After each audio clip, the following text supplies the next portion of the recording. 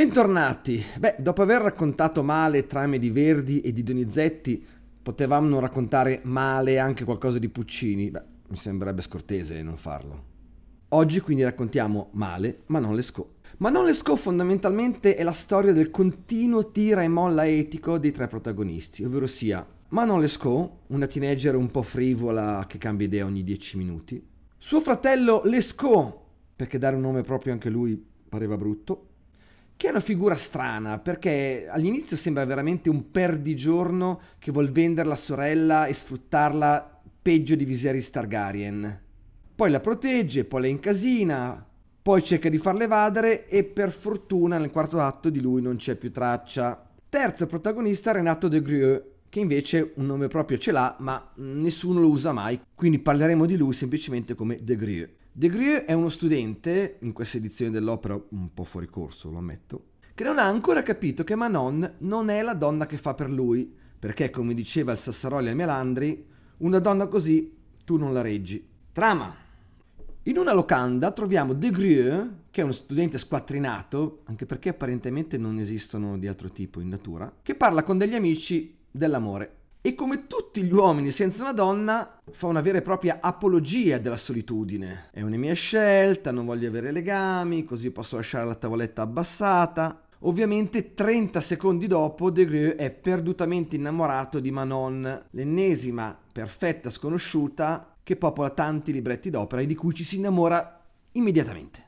Manon Lescaut, accompagnata al fratello Lescaut, è destinato a un convento per decisione del padre. Il fratello invece è di tutt'altro avviso. Ha incontrato Geronte, un facoltoso signore conosciuto pochi minuti prima, e pensa che se invece che al convento affiderò Manon a Geronte, che ha conosciuto pochi minuti prima, ne verrà qualcosa in tasca anche a lui.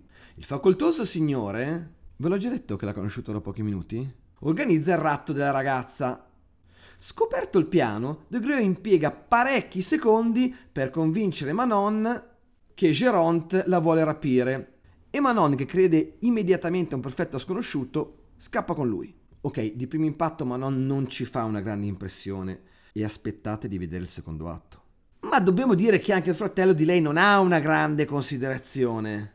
Infatti Geronte è imbufalito per la sottrazione della ragazza, ma Lescaut, che è un uomo pragmatico, gli dice di non preoccuparsi. Ma non è scappato con uno studente, ma, virgolettato, borsa di studente rimane presto al verde, chiuse virgolette. E gli dice anche che, sempre virgolettato, Manon non vuol miseria, ma non riconoscente accetterà un palazzo per piantare lo studente. Non male per una che stava per entrare in convento. Con la profonda stima del fratello sulla di lei dirittura morale e sulla genuinità dei suoi sentimenti si chiude il primo atto nel secondo atto scopriamo che Lescaut conosceva i suoi polli, ma non infatti ha lasciato lo studente squattrinato e ha sposato Geronte, nel cui palazzo vive vita agiata.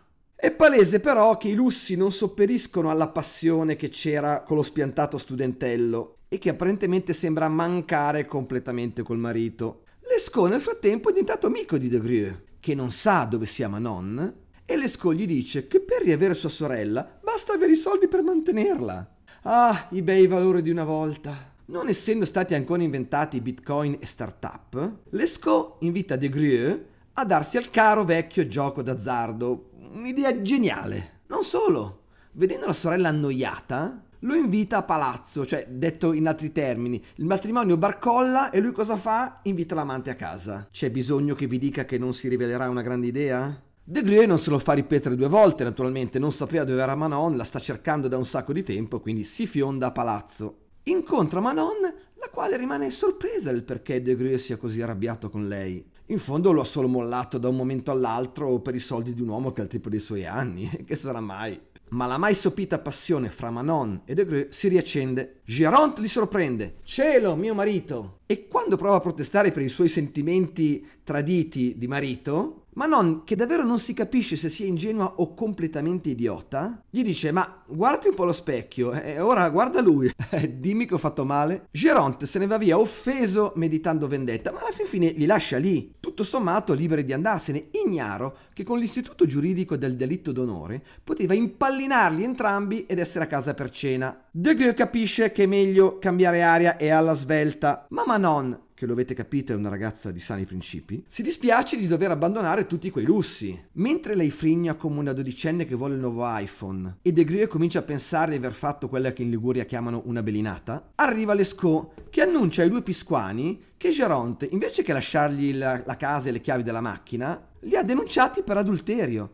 Pensa che... St- le guardie arrivano in un lampo altro che squadra mobile, e arrestano Manon mentre De Greux riesce a fuggire. Manon viene condannata all'esilio in America che, è bene ricordarlo, ai tempi era una colonia penale. Dopo un patetico tentativo di farla evadere prima che la nave salpi, De Greux supplica il comandante che lo prenda a bordo con lui anche come mozzo. Siamo ormai alla fine dell'opera, ma abbiamo un grosso, gigantesco problema. Abbiamo avuto tradimenti, finti dilemmi esistenziali, superficialità, morale diffusa e un po' di action, ma non è morto ancora nessuno. Il librettista quindi si rende conto che la storia non funziona e che qualcuno bisogna pure ammazzare. Meglio se colei che dà il nome all'opera. Giunti quindi in America, il librettista tira fuori il colpo di genio dal cilindro. Fa finire Manon e De Grieux non si sa davvero come in una landa deserta, dove Manon è in fin di vita, ma ha abbastanza energie da cantare un'aria impegnativa come solo perduta abbandonata. Dopodiché muore di stenti, alla faccia del sogno americano.